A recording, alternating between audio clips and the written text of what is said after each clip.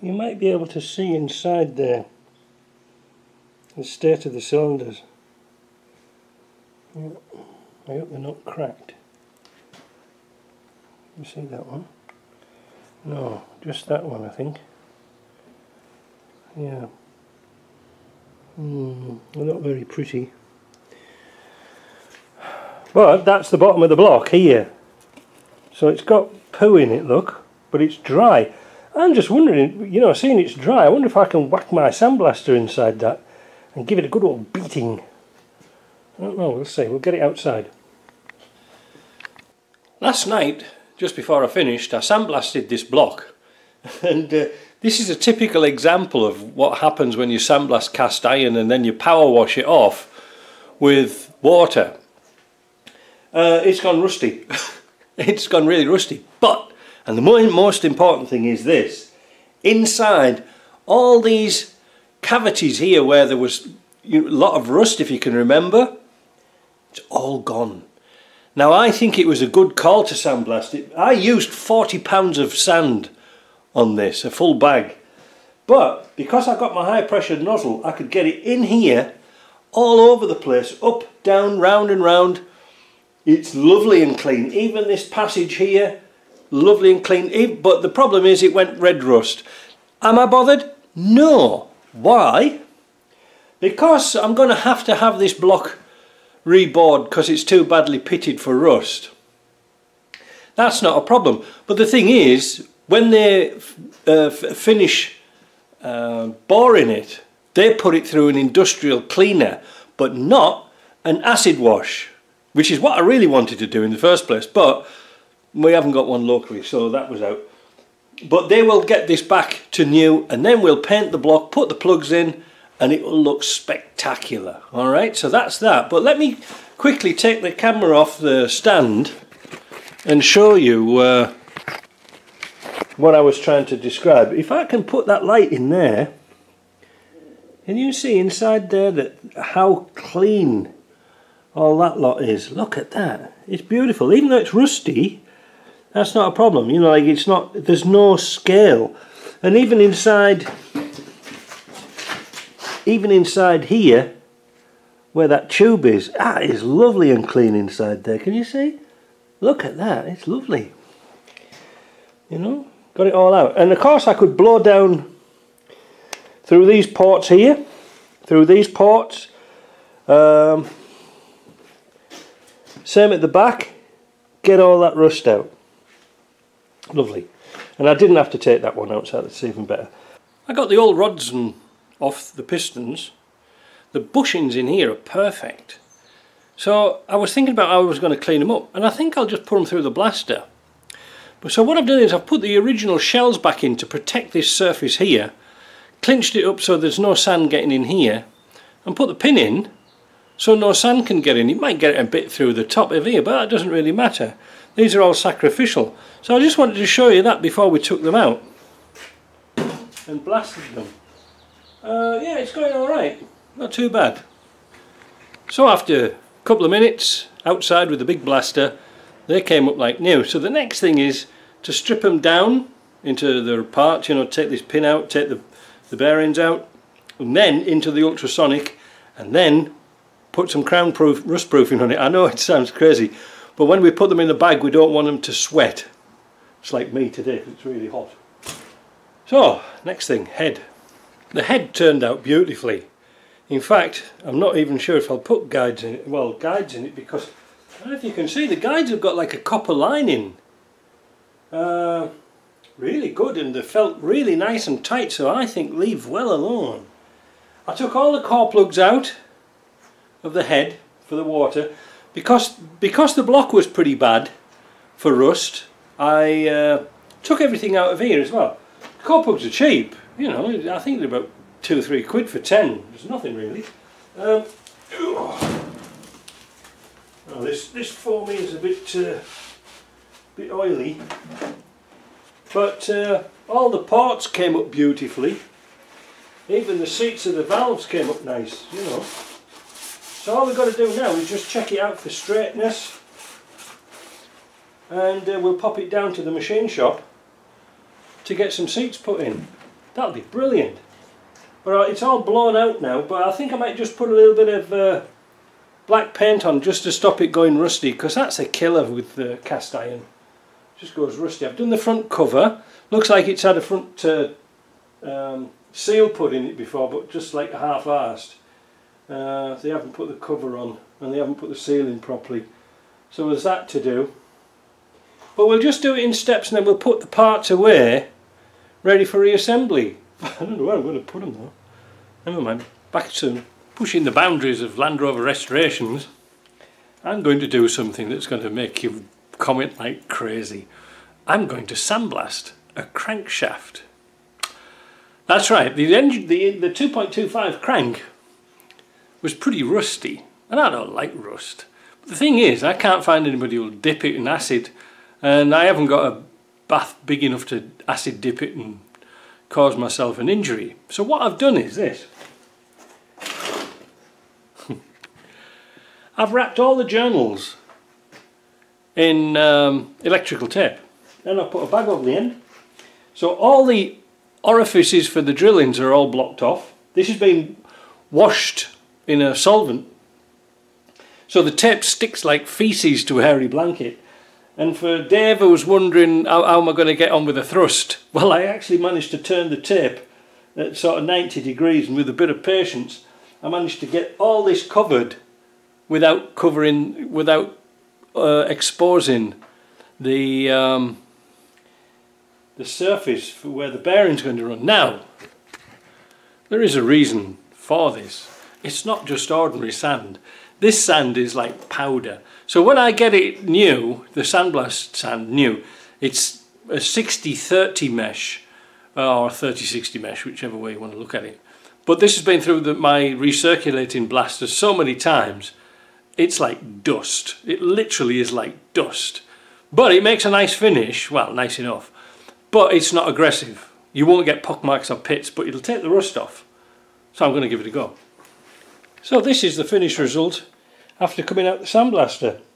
It's perfect. I give it a bit of Krown rust proofing, drink up, and um, it hasn't gone rusty. The journals are lovely. They're really, really nice. I'm not going to even machine them. They're, they're, they're all measured up nice. A little bit of a stain mark, but that's all. but you can see there was no um, sandblast at all on any of the journals. I'm really pleased about that. So I give it a good old uh, cleaning out. I used uh, a little wire brush to go inside the pots just to make sure you know like the oil ways but it looked beautiful. So next thing we're going to do is perhaps do the um, rocker shaft. Gradually getting through all these parts cleaning them up um, for this 2.25 I would have a look at the rocker shaft. Now as you mentioned as I mentioned a quick fix to keep the rocker shaft in place was to put the stud bolts through the rocker shaft uh, through the rocker box and then just take it all off. Well, we want to clean it and this is going to be a problem because, as usual, there's no end, there's no clips in the middle of this rocker box uh, to hold the shaft together if you see what I mean. So when I take this off it's going to go ping. This is going to be a bit of a problem. But I've got a cunning plan. I don't know if it'll work. Probably. I'll just get these bolts out of here. Talk amongst yourself for a little while. I should have planned this a bit better. Uh, while, I'm doing this, um, I got a bit sidetracked on something the other day. Yeah, I've got something to show you. If you can remember, I took the core plug out, or as Americans call them, brass plugs. Um, this is the one I took out and I sandblasted it. If I can find my flashlight, my torch, which was it? Wait a minute, I'll have a look for it. Here we are. Can you see the light shining through the holes here? See how rusty it was? Look at that, isn't that incredible? So, and look at the inside finish of that uh, plug. Absolutely diabolical, look at it. So that's why I always replace them. People say, oh, you're wasting time, but for the price, I don't bother now. Just take them to bits. Take them out, replace. There we go. So it all fell out. So what we're going to try and do is keep everything in order and we're going to clean each part individually. But it's going to be tricky so we've got to make sure that this side here to nearest the bench is the valve side so we're going to put them in order take them off let's set them all in order and then when we clean them and put them back it'll be exactly the same place just be careful of the little washers and things that's stuck on there. It's most important. They're like more like a spacer than a, a washer if you see what I mean. And just keep taking them off. The problem with the, these old series engines was um, the, the bushings used to wear in the rockers and once they wore or the rocker shaft had worn and this is why I'm taking it off now because I want to do a parts order to the UK but um, once they were worn you'd lose oil pressure. People think oh it's a bearing's good not necessarily. It used to come out from the uh, from the rocker shaft. So this gives us an opportunity to examine things. You can find out how this goes back together in a book, naturally. Oh, of course, a, there is a pin holding it in here on the shaft. So that makes life interesting, doesn't it? There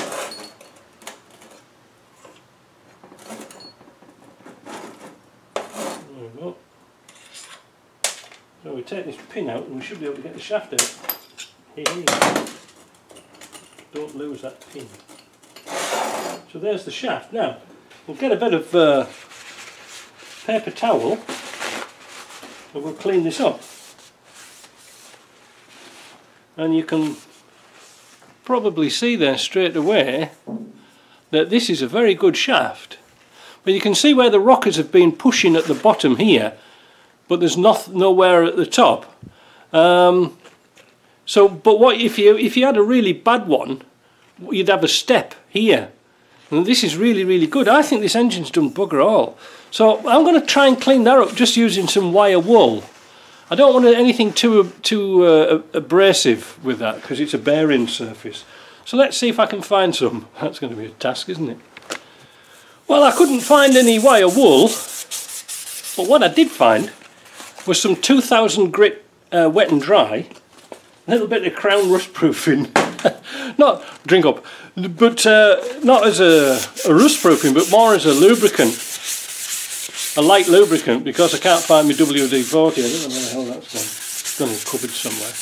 But uh, you know, when you're polishing your shaft, because you've got to polish it every now and again, you? Um, it makes a nice finish, but you can also feel the bearing surface. If there's any sign of any bearing wear in here, dump it. Right? Dump it and get another one. But this one is like new really, really good. I'm not even going to change that. So, I'll wash it out in the parts washer. The next thing is, how on earth am I going to clean all these bits up, these uh, rockers? Well, I'm not sure. But, you can see here, the pads are beautiful. Do you know, I don't think this engine's done much at all. But what I'm going to do, I'm going to, um, to preserve this, I might just put it through a fine sandblast after it's been washed. Put some plastic plugs in the ends and put a plastic plug over the ball and just hold my finger over the end of the cap and it should, we should be able to give that a nice little finish and see what it comes up like. Let's try it on just one. There you go. That's still nice and shiny and uh, I got a couple of plugs in there. So what I'm going to do now is take the plugs out. We didn't get any sand at all into the bushing. Push them out. Take the cap off here the bearing if I can which it probably won't. This screwdriver there's all my bits gone. Let's see what that turned out like.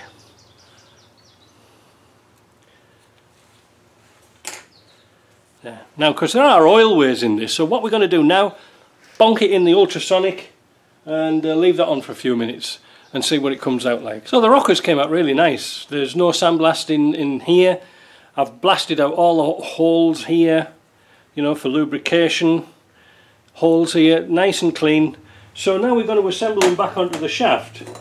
Now you're going to say, Mike, you've taken all this shaft, which way around does it go? It's kind of easy really. I've also blasted these pedestals off a bit. If you notice, there's oil holes at the top. These are drilled all the way through, but there's oil holes at the top. But there's an odd one just here. So that goes through there, and this little locking pin simply locks it into place. So now, well if I'd have put it the right way around it would have been better but oh dear me, one of them days isn't it, there we go. That's what we get with filming. So now, hopefully, we can assemble this. We're going to oil it very very well. That's it and put it all back together again. There's no need to keep buying parts for when it's not necessary. So I've got a couple of rockers to go. Got to put this together, and I'll I'll show you when I come back. So with your with your shaft all back together, we can now test it by simply turning it over and filling up this hole here. It's supposed to be at the end of the engine, and we'll fill the it's very difficult to do actually because I can't show you because but you can fill the fill the shaft up and you can see oil pouring out of the uh, rockers. Can you see that? It's coming out of all the holes. Make sure it's coming out of there, everywhere. I'm happy with that. It's nice clean oil. The bench is clean, so I'm going to oil all this lot up to protect it from corrosion. But I think it's worth taking the time to take them all to pieces and blast them but make sure you don't get any sand in well in these holes here uh, and if you do just turn them upside down and blast them back out like I said the ultrasonic's really good for getting that cleaned up so that's that shaft.